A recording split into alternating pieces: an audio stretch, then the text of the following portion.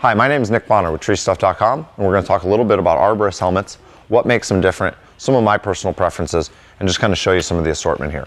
So I want to talk about a couple key differences first, and what really makes a helmet a helmet and what categories they fall into. So we have E-rated helmets and non-E-rated helmets. And generally what that means is does the helmet have vents or not? So vents allow air to travel through, keep your head cool, but they also allow electricity to pass. So the way an E-test works is they take a helmet shell, they sink it in water, they stick a probe inside and a probe outside, they fill the inside of the helmet with water, they electrically charge the outside.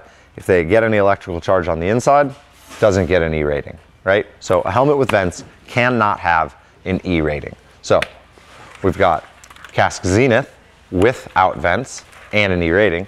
Kask Super Plasma, vents, no E rating. The other big difference between helmets is going to be what is absorbing the impact, right? Is that a foam based system or a suspension based system? Uh, when I first started climbing, I always liked suspension based systems. As I've climbed more and more and, and you know worn a helmet more, uh, I've become really partial to the Kask. Uh, I think it's got the, the best level of adjustability.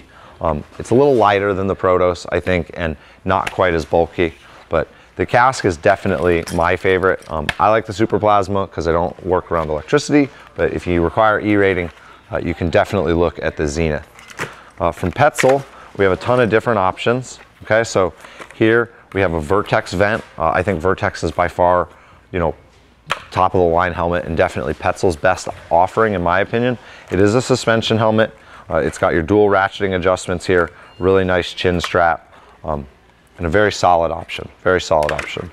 We also have our Alveo Best, right? This is a different model and it does not have the vents, so this is an E rating. All the Petzl helmets that are rated best or have the best in the brand in the product description are E rated. Um, this is a foam based helmet. So Alveo is foam based and Vertex is suspension based. That's how you can tell the difference between the Petzl assortment. Uh, all these helmets from Petzl and Kask, except your standard 3M Peltor, earmuffs that you're very familiar with. Um, so that's great.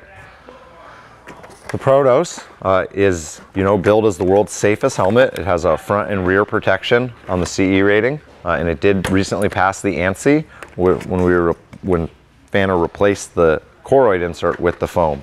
It's got a really low pro mesh visor available. It comes in two different grains, uh, as well as with a plastic visor that's available. And one of the really neat features about this that I've talked about in other videos is the way the earmuffs hide up inside of it. Uh, so very cool helmet, definitely at the higher end of the price point, but these are all great options for the arborist today. And thank you for watching.